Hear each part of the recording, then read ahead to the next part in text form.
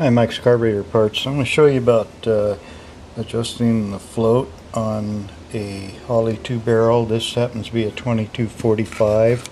Um, there's several Holleys like this that uh, uh, will be the same.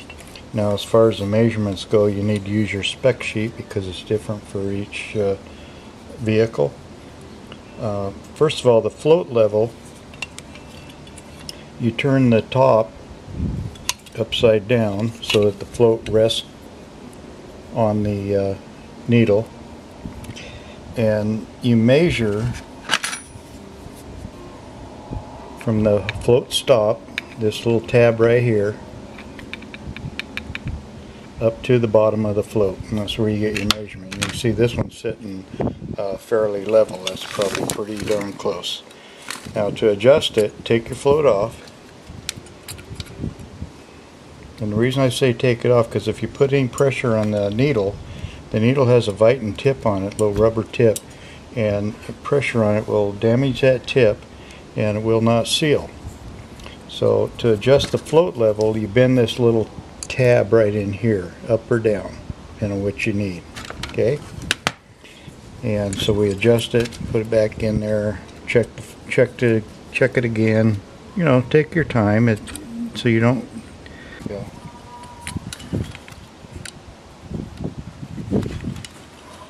Easier said than done, huh?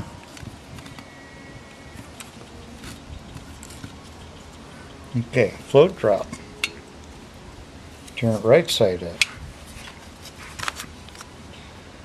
And this time, you're looking at this bottom edge here. Actually, it's the top of the, yeah, bottom of the float here and it needs to be level with this edge here and I can see it's not quite level. It needs to be go up just maybe that much. Now I don't think the float drop matters that much. I mean you don't have to get it exact. Here's the main thing is that it drops enough to let the needle come out and then allow fuel to get in.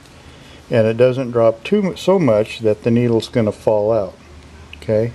That's the main thing. But get it real close to level.